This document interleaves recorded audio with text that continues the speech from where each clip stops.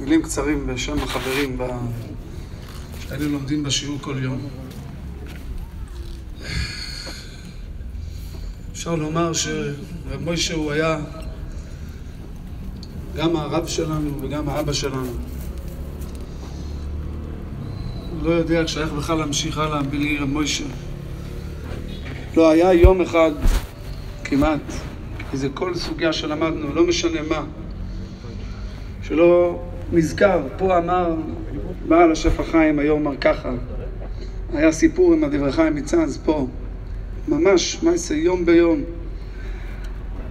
לא נדבר על הבקיאות, אבל צורת הגשת הדברים, איך שהוא היה אומר לנו סיפורים של דורות קודמים, היה מחבר אותנו לעולמות אחרים.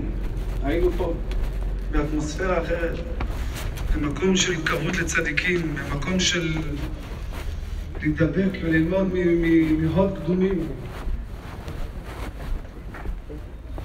זה ברוחניות, אבל בגשמיות כל אחד ואחד מאיתנו ידע. אם היה איזה צרה לאחד בשיעור, אם אחד מהחבורה יש לו איזה דאגה, ידעו תמיד. פונים לרב מוישה, פונים אליו הביתה, מדברים.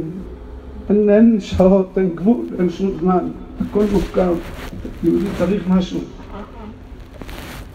יכול להיות שלוש לפנות בוקר, לא שתיים בלילה.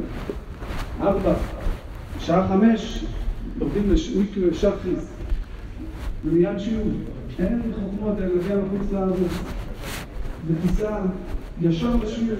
לא הולך הביתה לישון ולא נשמע. הייתה לו מסירות נפש לחיות מהתורה. הוא היה נכנס לסוגיה, הוא היה מגיע קצת מאוחר, חייבים להיכנס לסוגיה, אי אפשר להתחיל סתם. עם חיות, עם כוח. זה לא הריגה, זה אפילו אותנו שלא יודע להתרומם מזה.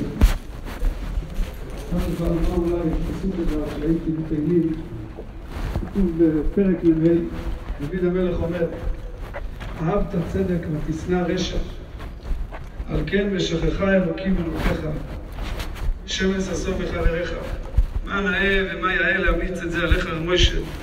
אהבת צדק, ותשנא רשע, מסירות נפש לצדק, כמו שדיברו. אבל רש"י אומר על המקום של לשון של גדולה. בכל מקום של גדולה נופל עליו לשון של משיכה. אפשר לומר שמוישה היה גדול. הכל היה בגדלות, הכל היה ברחבות. היה מלך. מוישה היה מלך בכל דבר, בין אם היה לו ובין אם לא היה לו. ראינו אותו כמלך בהידרו מצווה. איזה חביבות לכל מצווה, כמו פשוט לראות מה זה יהודי שדבק באהבת השם ובגדולת השם. וכמה שזה מתאים, זה שמן ששון מחבריך, זה איך שהסתלקת ממש אצל רשב"י וההילולה שלו. שקדוש ברוך הוא ינחם אותנו בתוך כל עם ישראל, בעזרת השם עם הגאולה השלמה. חתימת ההספדים מכובד רב בית הכנסת הרב וייסמן שליטה.